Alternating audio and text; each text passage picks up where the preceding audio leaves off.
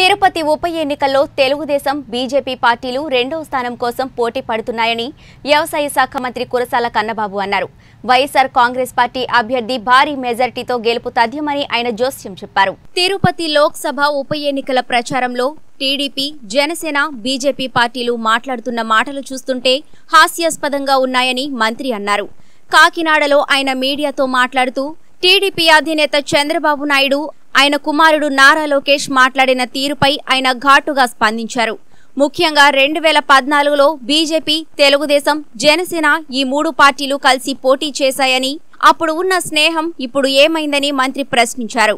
అదేవిధంగా ప్రజల నమ్మకంతోనే రెండు వేల పంతొమ్మిది ఎలక్షన్స్లో వైసీపీ నూట యాభై ఒక్క సీట్లు గెలిచిందని ఆయన చెప్పారు. ఎన్నికలు పెడతారా లేదా పెడతారా చేస్తారా అని పెద్ద ప్రపోజల్ చేసిన? పెద్దలు అదేవిధంగా తెలుగుదేశం పార్టీ నాయకులు తీరా ఎన్నికలు పెట్టే సమయానికి గవర్నమెంట్ చేశారు.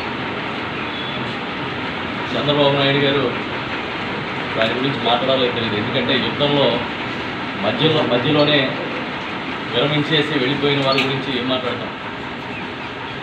యుద్ధ బరిలోంచి పలాయనం చేసిన తర్వాత వారి గురించి ఎక్కువ మాట్లాడడం యుద్ధనీతి కాదు.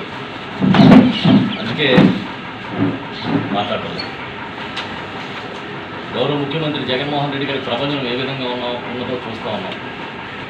ఇచ్చాపురం నుంచి హిందూపురం దాకా అది గ్రామం అయినా పట్టణం అయినా ఏ ప్రాంతమైనా ఏ ఎన్నికైనా ఒకే రకమైన తీర్పు అధికారంలో రెండు సంవత్సరాలకు కూడా అదే ఒకే రకమైన తీర్పు. రెండు వేల పంతొమ్మిది కన్నా అత్యధిక మెజార్టీతో వస్తూ ఉందంటే గౌరవ ముఖ్యమంత్రి జగన్మోహన్ రెడ్డి గారి పనితీరు ఏంటో అర్థం చేసుకోవచ్చు. ఎవరైనా అధికారంలోకి వచ్చిన తర్వాత కొంత వ్యతిరేకత వస్తూ ఉంటుంది. కానీ అధికారంలోకి వచ్చాక సానుకూలత పెరుగుతున్న నాయకుడిగా ఇవాళ గౌరవ ముఖ్యమంత్రి జగన్మోహన్ రెడ్డి గారు కనిపిస్తూ ఉన్నారు. బహుశా అందుకే ఇక తట్టుకోలేము. ఈ ప్రజాదరణ ముందు నిలబడలేమనే ఉద్దేశంతో చంద్రబాబు నాయుడు గారు ఎన్నికల నుంచి పలాయనం చెందినట్టుగా నేను చూస్తూ ఉన్నాను. కానీ చిత్రం ఏంటంటే ఈ ఎన్నికలు వదిలేసిన అక్కడ తిరుపతి ఉప ఎన్నికలు మాత్రం ఆయన వారసుడు పాపం లోకేష్ గారు ఏం మాట్లాడుతున్నారో తెలియకుండా రోడ్ల మీద పడుతుంటాం లేదని చూడాలి. వైఎస్ఆర్ ఎంపీలంట మందంట. వాళ్ళ ఎంపీలు సింహాలంట. కూడా. మరి ఏం సింహాలో మనకు తెలీదు నేను ఇంకా అంతగానే మాట్లాడాను కానీ గొర్రెలతో పోలుస్తున్నాడు ఎంపీలు ఆయన మాకు ప్రత్యేక హోదా వద్దు ప్రత్యేక ప్యాకేజీ చాలని పండగ చేసుకున్నప్పుడు మీ తండ్రిని కొడుకుని మేము దేంతో పోల్చాలి ఎవరితో పోల్చాలని అడుగుతాం. ఆ రోజు అర్ధరాత్రి స్వీట్లు పంచుకున్నప్పుడు మీ ఎంపీల్ని మిమ్మల్ని దేంతో పోల్చాలి?